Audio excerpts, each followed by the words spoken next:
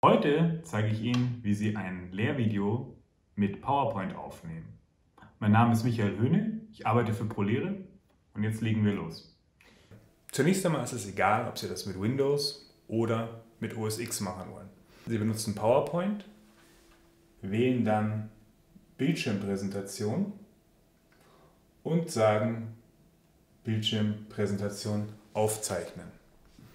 Sie zeichnen dann Ihren Vortrag auf Achten Sie darauf, dass der Vortrag gekürzt ist. Nuggets produzieren besser als lange Vorträge, wo die Zuschauer dann anfangen, in doppelter Geschwindigkeit zu hören oder hin und her zu skippen, weil der Vortrag einfach zu lange ist. Wenn in Ihrem Vortrag Animationen laufen, Übergänge zwischen den Slides oder innerhalb der Slide, wird das Audio nicht aufgezeichnet. Sprechen Sie dann also nicht.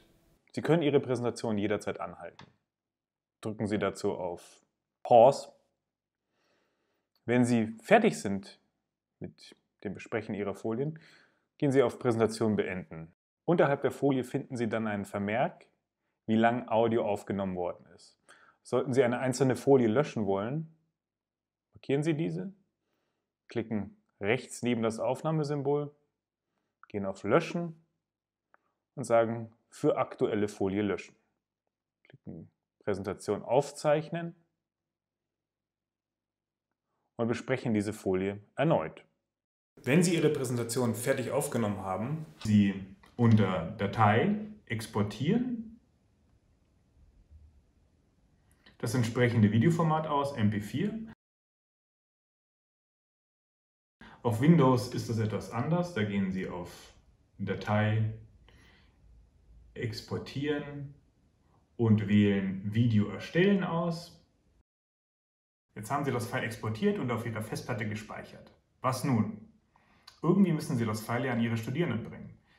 Da gibt es mehrere Möglichkeiten. Wir werden das in einem weiteren Video nochmal erläutern genau. Vorab, der Videoserver vom LAZ und Moodle eignen sich am besten dafür. Auch wenn momentan unter videoupload.laz.de ein Hinweis erscheint, dass der Streaming- bzw. Videoserver jederzeit abgeschaltet werden kann. Die TU München arbeitet mit Hochdruck daran, dass für Sie der Video-Up- und Download im kommenden Semester funktioniert. Dabei viel Spaß beim Videoproduzieren. Ihr Michael Höhne.